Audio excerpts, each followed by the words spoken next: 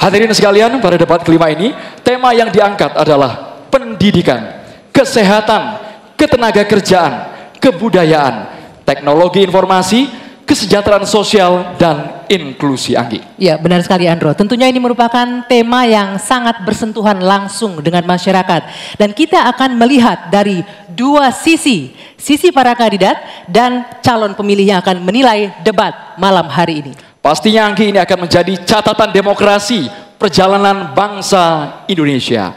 Hadirin sekalian, baik kita akan langsung memulai debat sesi pertama dengan mendengarkan visi, misi, dan program kerja masing-masing calon presiden. Ya, Andro dan pemirsa, jika pada debat sebelumnya diawali dari kandidat nomor urut satu, di debat kali ini akan dimulai dari kandidat nomor urut dua.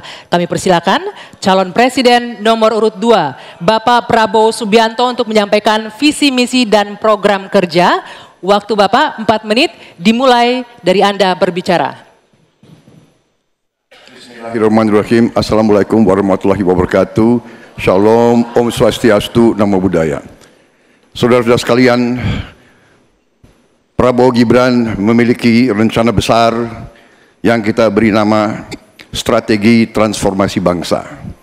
Inti daripada strategi ini tentunya adalah meningkatkan kemakmuran bangsa Indonesia dan terutama memperbaiki kualitas hidup manusia Indonesia, seluruh rakyat Indonesia.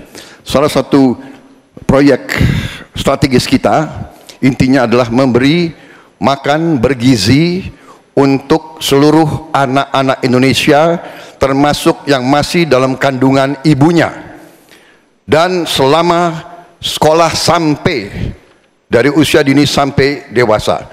Ini akan mengatasi angka kematian ibu waktu lahir. Ini akan mengatasi kurang gizi anak stunting ini akan menghilangkan kemiskinan ekstrim.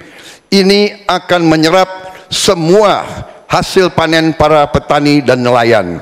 Ini akan meningkatkan pertumbuhan ekonomi kita. Minimal sekitar satu setengah sampai dua persen.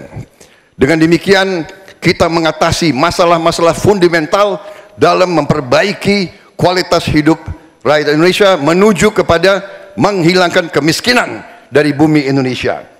Di bidang kesehatan, kami akan membangun rumah sakit modern di setiap kabupaten dan kota dan puskesmas modern di setiap desa di seluruh Indonesia. Kami akan segera mempercepat mengatasi kekurangan dokter di Indonesia.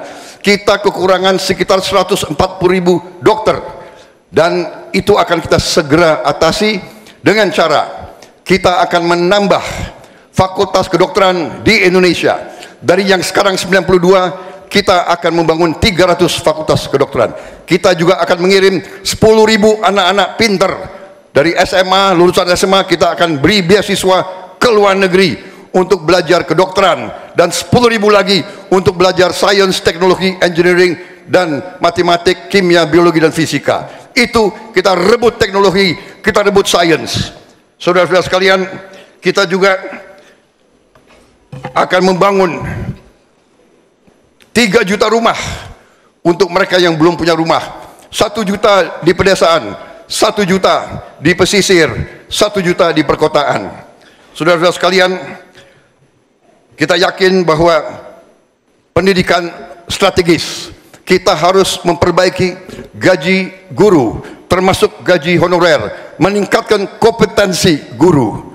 Kita harus memberi pelatihan-pelatihan, penataran-penataran dan juga seluruh penyelenggara negara ASN, TNI, Polri, penyuluh-penyuluh pertanian di mana-mana harus kita perbaiki gajinya sehingga kualitas hidup mereka akan baik sehingga mereka bisa memberi pelayanan kepada rakyat dengan sebaik-baiknya. Saudara-saudara sekalian, itu beberapa program unggulan kami dalam rangka strategi transformasi bangsa. Kita tidak hanya sekedar mau pembangunan, kita mau transformasi bangsa kita di atas landasan ekonomi yang sudah dibangun oleh Presiden Joko Widodo dan presiden-presiden sebelumnya.